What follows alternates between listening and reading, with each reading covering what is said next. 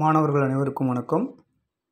இப்போ தொழில்நுட்ப கல்வி இயக்ககம் நடத்தக்கூடிய கண்டினியூஸ் அசஸ்மெண்ட் டெஸ்ட் ஒன் அப்படிங்கிறதுல மாணவர்கள் எவ்வாறு கொஸ்டின் பேப்பரை டவுன்லோட் பண்ணுறது அதுக்கு விடை எழுதி அந்த விடைத்தாட்களை பிடிஎஃபாக மாற்றி எவ்வாறு வந்து பார்த்திங்க அப்படின்னா கூகுள் கிளாஸ் ரூமில் அப்லோட் செய்வது அப்படிங்கிறத பற்றி தான் இந்த வீடியோவில் பார்க்க போகிறோம் வாங்க வீடியோக்குள்ளே போகலாம் கூகுள் கிளாஸ் ரூமை வந்து பார்த்திங்கன்னா முதல்ல ஓப்பன் பண்ணிக்கிறீங்க. கூகுள் கிளாஸ் ரூமை ஓப்பன் பண்ணிங்க அப்படின்னா உங்களுக்கு நிறைய கிளாஸ் ரூம் வரும். சரிங்களா? நிறைய கிளாஸஸ் இருக்கும். அந்த கிளாஸஸில் இன்றைக்கி உங்களுக்கு என்ன எக்ஸாமோ அந்த எக்ஸாமோட கோடு இருக்கக்கூடிய கிளாஸை போய் வந்து பார்த்திங்கன்னா டச் பண்ணுறீங்க டச் பண்ணிங்க அப்படின்னா உங்களுக்கு ரெண்டு வகையான டாக்குமெண்ட்ஸ் வந்து போட்டிருப்பாங்க. ஒன்று நியூ மெட்டீரியல் அப்படின்னு போட்டிருப்பாங்க. இன்னொன்று நியூ அசைன்மெண்ட் அப்படின்னு போட்டிருப்பாங்க. நியூ மெட்டீரியல் அப்படிங்கிறது என்ன அப்படின்னு பார்த்தீங்கன்னா உங்களுக்கு கொஷின் பேப்பரை பிரின்ஸிபல்கிட்டருந்து வாங்கி அனுப்பியிருப்பாங்க. இந்த நியூ மெட்டீரியலில் போய் டச் பண்ணி நீங்கள் கொஷின் பேப்பரை டவுன்லோட் பண்ணிக்கணும். அடுத்தது டவுன்லோட் பண்ணிக்குவோம். ஃபஸ்ட்டு வந்து பார்த்திங்கன்னா நியூ மெட்டீரியலில் போய் டச் பண்ணுறேன். டச் பண்ணி வந்து பார்த்திங்கன்னா இதுதான் கொஷின் பேப்பரு. இந்த கொஷின் பேப்பரை நான் என்ன பண்ணுறேன் அப்படின்னு பார்த்தீங்கன்னா டவுன்லோட் பண்ணுறேன். டவுன்லோட் பண்ணும்பொழுது இந்த பாப்பப் விண்டோ வந்து பார்த்திங்கன்னா ஓப்பன் பண்ண ஓப்பனிங் இன் கூகுள் ட்ரைவ் அப்படின்னு சொல்லிட்டு காமிக்கும். இப்படி கூகுள் ட்ரைவ் காமிச்சிச்சு அப்படின்னா பேக்கு கொடுத்து உங்கள் மொபைலில் போய் நீங்கள் என்ன பண்ணுறீங்க அப்படின்னு பார்த்தீங்கன்னா கூகுள் ட்ரைவை ஓப்பன் பண்ணுங்கள் கூகுள் ட்ரைவை ஓப்பன் பண்ணுங்கள் கூகுள் ட்ரைவை ஓப்பன் பண்ணி அதில் அந்த கொஷின்ஸ் இருக்கும். அந்த கொஷின்ஸ்க்கு பக்கத்தில் இருக்கக்கூடிய மூணு டாட்டை டச் பண்ணுங்கள் மூணு டாட்டை டச் பண்ணி டவுன்லோட் அப்படிங்கிற பட்டனை அழுத்துங்க. இது வந்து பார்த்திங்க அப்படின்னா உங்களுக்கு டவுன்லோட் ஆயிரும். நோட்டிஃபிகேஷன்லேருந்து வந்து பார்த்திங்கன்னா என்ன ஆகும்? அன்டைட்டில் டாக்குமெண்ட் வந்து பார்த்திங்கன்னா ஒய்ஃபை நெட்ஒர்க்குக்காக வந்து என்ன ஆகாமல் இருக்குங்க? டவுன்லோட் ஆகாமல் இருக்குது அப்போ ஒய்ஃபை நெட்ஒர்க் வந்து பார்த்திங்கன்னா நீங்கள் ஆன் பண்ணிடுறீங்க. இப்போ உங்களுக்கு என்ன ஆக ஆரம்பிக்கும் அப்படின்னு பார்த்தீங்கன்னா ரெஃப்ரெஷ் பண்ணிடுறீங்க. ரெஃப்ரெஷ் பண்ணோன்னே டாக்குமெண்ட் வந்து என்ன ஆக ஆரம்பிக்கும் அப்படின்னு பார்த்தீங்கன்னா டவுன்லோட் ஆரம்பி ஆக ஆரம்பிக்கும். இப்போ டவுன்லோட் பண்ணி எடுத்துக்கிறீங்க. டவுன்லோட் பண்ணி எடுத்துக்கிறீங்க. ஓகேங்களா?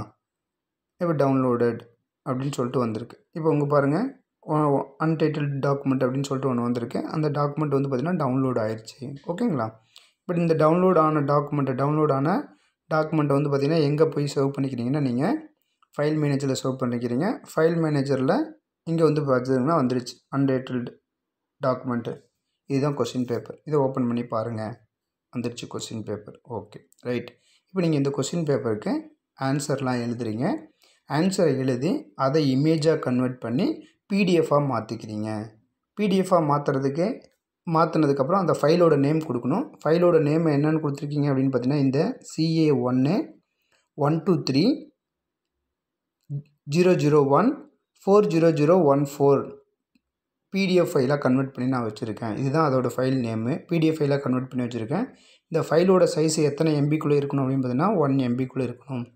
இப்போ நான் பாருங்கள் ஐநூற்றி பத்து கேபி தான் வச்சுருக்கேன். அப்போ இந்த மாதிரி என்ன பண்ணியாச்சு நான் டாக்குமெண்ட்டை எக்ஸாம் எழுதி இமேஜாக எடுத்து அதை பிடிஎஃபாக வந்து பார்த்திங்கன்னா டாக்குமெண்ட் ஸ்கேனரில் போட்டு கன்வெர்ட் பண்ணி நான் என்ன பண்ணியிருக்கிறேன்னா இப்போது ஒரு பிடிஎஃப் ஃபைலாக வச்சுருக்கேன். இதை போய் எப்படி கூகுள் கிளாஸ் ரூமில் வந்து பார்த்திங்கன்னா நம்ம அப்லோட் பண்ணுறது அப்படிங்கிறத பார்ப்போம். கூகுள் கிளாஸ் ரூம் எகெயின் போங்க. நியூ அசைன்மெண்ட் அப்படின்னு ஒன்று கொடுத்துருக்காங்க. இங்கே போய் தான் நீங்கள் என்ன பண்ணணும் அப்படின்னு பார்த்தீங்கன்னா இந்த அசைன்மெண்ட்டை அதாவது எழுதின டெஸ்ட் பேப்பர் வந்து பார்த்திங்கன்னா அப்லோட் பண்ணணும். இதை டச் பண்ணிக்கிறீங்க. டச் பண்ணி இதில் அட்டாச்மெண்ட் அப்படின்னு ஒன்று கொடுத்துருக்காங்க. இந்த அட்டாச்மெண்ட் அப்படிங்கிற காலத்தை வந்து பார்த்திங்க போயிங்கன்னா டச் பண்ணுறீங்க இது டச் பண்ணோடனே உங்களுக்கு ஓப்பன் ஆகும். உங்களோட இமெயில் அட்ரஸை இங்கே டைப் பண்ணுறீங்க இமெயில் அட்ரஸ் வந்து பார்த்திங்க அப்படின்னா நான் இப்போது இமெயில் அட்ரஸ் என்னோடய இமெயில் அட்ரஸை டைப் பண்ணுறேன் இன்ஸ்டியூஷன் கோடு ஒரு செக் பாக்ஸ் கொடுத்துருக்கோம். ரெஜிஸ்டர் நம்பர் வந்து பார்த்திங்க அப்படின்னா உங்களுக்கு இப்போதைக்கு டெம்ப்ரவரியாக ஒரு ரெஜிஸ்டர் நம்பர் தருவாங்க. இப்போ நான் வந்து பார்த்திங்கன்னா one two three zero zero ஒன்றுன்னு போட்டிருக்கேன். உங்களுக்கு என்ன ரெஜிஸ்டர் நம்பர் தராங்களோ அதை நீங்கள் போட்டுக்கலாம். அடுத்தது நேமுக்கு கீழே ஒன்லி கேபிட்டல் லெட்டர்ஸ் அப்படின்னு கொடுத்துருக்காங்க. அப்போ அந்த கேபிட்டல் லெட்டரில் எக்ஸாம்பிளுக்கு அந்த நேம் கொடுத்துருக்காங்க. ஸோ கேபிட்டல் லெட்டரில் இருக்கிற மாதிரி பார்த்துங்க ஜியு என்ஏ ஒரு ஸ்பேஸ் விட்டு பி இந்த இடத்துல புள்ளியோ கம்மாவோ ஸ்பெஷல் கேரக்டரோ எதுவுமே நீங்கள் போடக்கூடாது. ஒன்லி உங்களோட நேமும் ஒரு ஸ்பேஸு உங்களோட இனிஷியல் அடுத்தது சப்ஜெக்ட் கோடை வந்து பார்த்திங்கன்னா போய் டிக் அடிச்சுக்கிறீங்க. முதல்லையே என்ன பண்ணிடுறீங்க அப்படின்னா எல்லாத்தையும் வந்து பார்த்திங்கன்னா செக் பண்ணி பார்த்துக்குங்க. செக் பண்ணி பார்த்துட்டீங்க அப்படின்னா தப்பு ஆகலை அப்படின்னா உங்களுக்கு வந்து பார்த்திங்கன்னா கேப்சா அப்படிங்கிறது ஒன்று வராது. தப்பாயிடுச்சு அப்படின்னு பார்த்தீங்கன்னா கேப்சா அப்படிங்கிறது ஒன்று வரும்.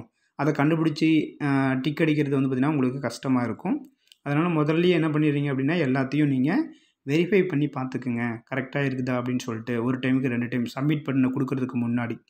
அடுத்தது வந்து பார்த்திங்கன்னா இப்போ ஃபைலை வந்து பார்த்திங்கன்னா ஆட் பண்ண போகிறீங்க ஃபைலை ஆட் பண்ண போகிறீங்க select file from the device டிவைஸில் நான் எங்கே வச்சுருக்கேன்னா ஸ்டோரேஜ் ஸ்டோரேஜில் எங்கே வச்சுருக்கேன்னா டவுன்லோடு டவுன்லோடில் ஆல்ரெடி ஃபைல் நேமு சிஏ ஒன்று one two three zero zero ஒன்று ஃபோர் ஜீரோ ஜீரோ ஒன் ஃபோருங்கிறது எக்ஸாமு அதை வந்து பார்த்திங்கன்னா நான் ஃபைல் நேமாக கொடுத்துருக்கேன். இப்போ அப்லோட் பண்ணுறேன் இப்போது அப்லோட் பண்ணுறேன் ப்ளூ ஸ்ட்ரிப்பு ஃபுல்லாக போய் முடிஞ்சதுக்கப்புறம் அப்லோட் ஆயிரும். இப்போ சப்மிட் இடத்துக்கு வந்துருச்சு. அவ்வளோதான் இந்த ஃபார்மை எல்லாத்தையும் நீங்கள் ஃபில்லப் பண்ணிட்டீங்க. ஃபில்லப் பண்ணிவிட்டு சப்மிட் அப்படிங்கிற பட்டனை கொடுத்துட்றீங்க. சப்மிட் அப்படின்ற பட்டனை கொடுத்துட்டீங்க அப்படின்னா உங்களோட ஃபார்ம் வந்து சப்மிட் ஆயிடுச்சு response submitted and assignment marked as done அப்படின்னு வந்துருச்சு. நீங்கள் உங்களோட அசைன்மெண்ட் ஓப்பன் பண்ணி பார்க்குறதா இருந்தால் பார்க்கலாம் ஓகேங்களா? இல்லை அப்படின்னா அனதர் ரெஸ்பான்ஸ் அப்படின்னு சொல்லிட்டு இங்கே ஒரு காலம் வருது. இது வந்து பார்த்திங்கன்னா ஆக்சுவலாக உங்களுக்கு வரவே வராது. ஏன் வராது அப்படின்னு பார்த்தீங்கன்னா உங்களுக்கு லிமிட் ஒன் ரெஸ்பான்ஸ் அப்படின்னு கொடுத்துருப்பாங்க. ஒரு டைம் நீங்கள் அப்லோடு பண்ணிட்டீங்க அப்படின்னா திரும்ப அதை என்ன பண்ண முடியாதுன்னா அப்லோடு பண்ண முடியாது. ஸோ அந்த மாதிரி ஆப்ஷன் காமிக்கும். அப்போ திரும்ப எகெயின் உங்களால் போய் ரீசப்மிட் வந்து பண்ண முடியாது.